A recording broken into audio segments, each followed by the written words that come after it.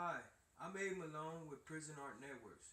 I'm here to talk about an upcoming event. For those who aren't aware of us, our objective is to promote and publicize prison art and to give inmates a chance to showcase their artistic abilities. We hold various competitions with cash incentive for inmates, giving inmates a voice and a way to generate revenue behind bars. Every one of us knows someone that is incarcerated with dormant talents that seems hidden behind bars with no chance of real exposure. Prison Art Network's sole agenda is to be that means between inmates and the public. Our slogan is exposing hidden art.